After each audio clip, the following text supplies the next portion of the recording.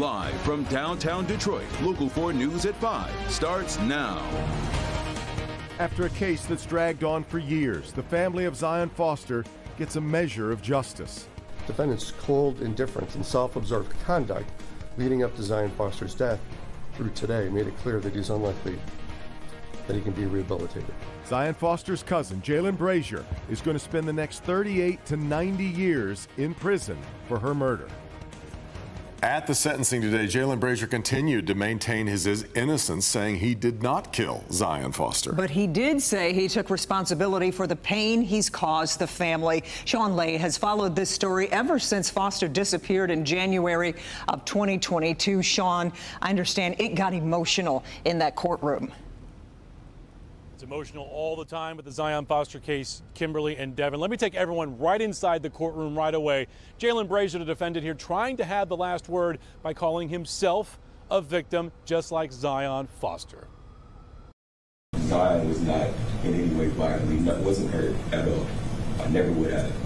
Yes, we were close. It was nothing sexual, but we were both victims of the very same situation. Jalen Brazier telling the court he is a victim the same as his cousin Zion Foster. Brazier is convicted of killing Zion and dumping her body in a dumpster. The judge saying Brazier has never taken responsibility for what he did to Zion and her family. Of the pre-sentence uh, investigation report was asked whether there was any statement he'd like to have noted in his report. He said, I didn't murder her, but the jury found me guilty. Well, I'm not surprised that defendant continues to deny his role in the victim's death. His response reveals that he's un- incapable of accepting responsibility of the suffering he's covered Zion, uh, caused Zion Foster's family. The final word going to Zion's mother, revealing the nightmare at times left her and her family homeless. When we've ended up without housing because I couldn't make it to work, because I couldn't function, because of breaking down. Sierra Milton, Zion Foster's mother, on Zoom there in court. She was here for all of the trial and for the verdict. However, she moved out of the area, guys. She's uh, in her home state now, no longer homeless or having those challenges right at the moment as far as you know, all the emotions that she's had to deal with while she was here. Too painful for her to remain here, so they moved out of state. You mentioned 38 to 90 years. That's on the second degree murder charge. Tack on 10 more years for uh, disturbing of evidence or you know, abusing that evidence at Zion's body, which has never been found. 100 years total if Brazier serves the max 100. Back to you guys. Yeah. Okay. Shawn, thank you.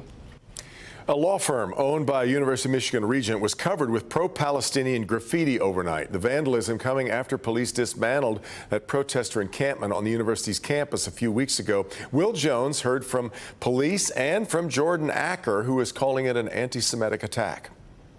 Before all of this gets cleaned up, we want to show you what vandals did overnight at Goodman Acker Law Firm in Southfield. But we have to be careful about what we show because of some of the language. But you can see red paint scattered about, and some of the messages include Free Palestine, Divest Now, and UM Kills. And this is likely why vandals targeted this law firm.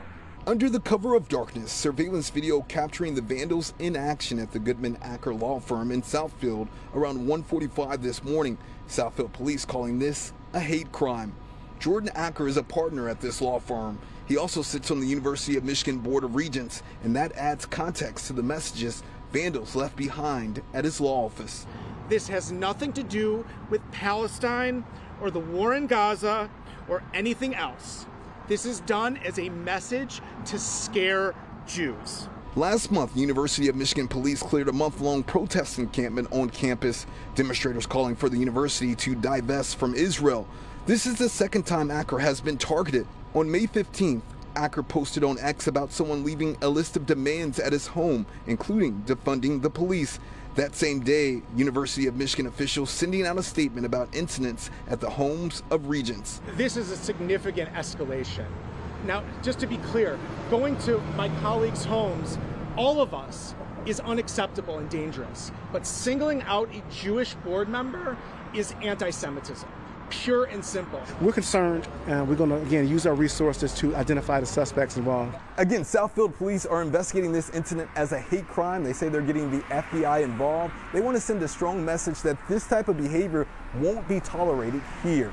From Southfield, Will Jones, Local 4. All right, Will, uh, Acker added today that his law firm is owned by not only Jews, but also Muslims and Christians. University of Michigan said there were no other incidents involving Regents overnight. All right, take a live look at the Michigan Central Station. It's pretty quiet there right now, but come Thursday, it'll be a whole different story. Ford is bringing in a list of all-star performers to help open the building in style. Mara MacDonald is live on this story tonight. Mara, there are some very big names on that list. Kimberly, it is amazing. You've got to take a look at this, though. Take a walk with me. Look at what, I mean, they're essentially building a small city out in front of the train station. Uh, the concert venue here is going to be incredible. And when you see the totality of the list of those names, I mean, wow. Take a look. Tickets for the grand opening of the train station and the concert blew out the door in minutes. Now, all that said, you're going to be able to see the whole thing live on Local 4 on Thursday. You have got to see the entirety of this lineup. The whole shebang is being produced by Eminem, and while the whole thing is full of headliners, this is not a drill. Diana Ross is coming. I've been singing Love Child all day. Anyway, there's more top tier talent across multiple genres. We've got a first look inside the train station, which is simply spectacular today. Meloni is going to show us everything inside at 5:30. And when I say we're showing you the whole concert, we are including a special right before. Our coverage starts at 7 o'clock on Thursday, and that's across all our channels, including TV, click on, as well as streaming on Local 4 Plus. Back here live, you can see how fast they are putting this up out here and how much work has gone into this. And I tell you, Kimberly and Devin, when you think of the amount of money, time, effort, and care that has gone into rehabilitating this building, it is awe inspiring. And then you see what they're doing for this concert. I, I mean, I think this is going to be one of those defining things where people are going to say, well, I was there for the concert or I saw this. And the reality is everybody's going to get a chance to see it because we're going to have it on Local 4. And if I don't hear Diana Ross say, just remember what I told you the day I set you free. oh, honey. it's going to be I cannot great. wait. Yeah. Back to you guys. Yes, it's going to be great. And you have to think, too, that Eminem, he's, he can't just produce it. He's going to have to perform, too, right? You oh, think? I mean, I, I, I mean...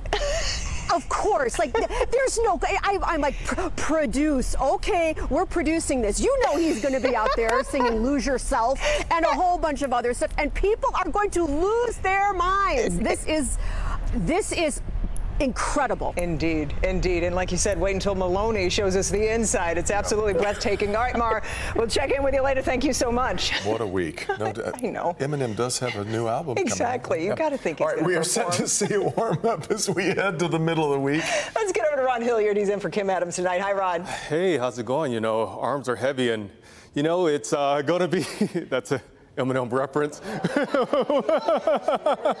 We're looking at some rain showers over to the west. Wisconsin, they've had the rain, some thunderstorms moving across Lake Michigan, and they'll be getting into our area as we get into the overnight hours. When it comes to the warmth, it has been warm out there, but it is going to be downright hot tomorrow. We have those temperatures at 74 in Mount Clemens, 78 in Howell. And then as we look at what we can expect for the rest of this evening, it doesn't offer much relief with these temperatures only getting down into the upper 60s as we get toward midnight, a little bit cooler overnight. Now, I'm going to talk about the oppressive conditions that we're going to have. The heat and the humidity going up tomorrow. We'll be seeing that humidity still with us on Wednesday. We'll talk more about that coming up. All right, Ron. Now, we are doing something we've never done before 24 hours in Highland Park, live every hour, kind of giving you a behind the scenes look at story gathering. This is really interesting here. These are live pictures from Avalon Street, where Mama Shu Harris has worked tirelessly to restore her city and her efforts getting national attention. Our Karen Drew has followed her work for years, and now we're telling her story from the eyes of those impacted by her efforts. Karen's been live in Highland Park since 6 a.m. Karen, you've met a lot of people today. There are a lot of people working to make Highland Park vibrant again. Oh, Kim, you put that really well. It is very true. They are working so hard in this community. We are on Avalon Street. You can see behind me the homework house. We were live there at 4 o'clock talking about the tutoring programs. Now we are at one of the many urban gardens that are in this community, um, and they are using this to educate neighbors and also to feed the public. I'm going to catch up with Aziza right now, and she's been busy. You've been working all day, Aziza. I have. You have. This lettuce is amazing, right? Thank you. What's the key? Um, the compost Yeah. and the love. Yeah, that's true. That's it. And you you share this with the community. I do. Um, I just gave a bag of it away earlier. I made a giant salad for everyone today. I know. And um, I'm trying to give away some more. You gonna take some? I do want some actually. If, Please. you, if you're okay to share, I don't want to take too much, but I want to test it out. Please, I have too much. Okay, while you are doing that, I want to toss us to a piece of some of the highlights of some of the things that we've covered today, some of the people we've met. It's been an amazing day so far. It's more like a auntie, uncle kind of vibe. You know, of course, you still have to watch out for your kids, but uh, it's really good to feel so neighborly. You know, the narrative has always been so negative. Right. And it's it's nice to have opportunities to kind of like write the course a little bit. The Goddess Women's Marketplace is open here on Avalon Street, and you come in and you can take a look at all the different things that they sell. It's for the community. I mean, if someone is hungry, I just gave out some letters and stuff to a brother that was just coming down the street. Just it was very random. So every other week we want to give these things out to the community. Every day I'm willing. In terms of Avalon Village and Mama Shu, uh, she's sure made a difference. Awesome. She's awesome. If somebody doesn't know something about Highland Park, what should they know? Oh, it's good people here. Right? Good people. I see a great future for Hamilton. Uh, I think you all coined it the Hamilton Corridor. Yeah, I don't know And if that so- was something. hey, we're going to Hamilton take it. We're going to take think, it. Yes, Yeah. yes. So the Hamilton Corridor, uh, I think, um, is the next place uh, for for food and beverage, for small business, for boutiques. Okay, what did we learn today, and what can we do to uplift this community? What's next? I've talked to some folks already Uh-huh. about very specific things that Oh, we good. can do to help this city uh, move forward. And uh, I call this city the capital of Detroit. Ooh, I like that. I like You know? that.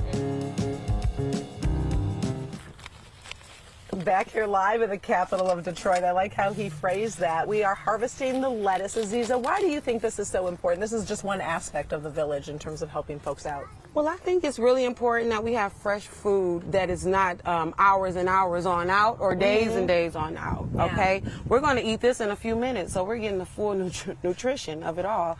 And I think that it's really important that um, families, me as a mom, that's my main concern, my children, um, we are feeding our kids correctly, Yeah. feeding them what they need to have on a And also- day-to-day basis. I was going to say, and also educating the public too, because sometimes people don't realize how important this is. All of this healthy food. You've got a garden here and right down the street. Yes, ma'am. And, we're gonna and we're gonna try some lettuce later. We Lettuce? are. Okay. It's going down. I, I- it's going down. It's going down. I love you. All right, we're going to continue. We're live back here at 6 o'clock with some new programs that are going on here at Avalon Village. We're streaming live on Local 4 Plus and clickondetroit.com. We're going to send it back to you guys. Yeah. We're working on dinner. Oh, that's great. So nice to shine a positive light on a city that has right. so many positive things going on. It Really is. Much more to come from Karen here, but we've got more to come here at 5. Let's check in with Rod.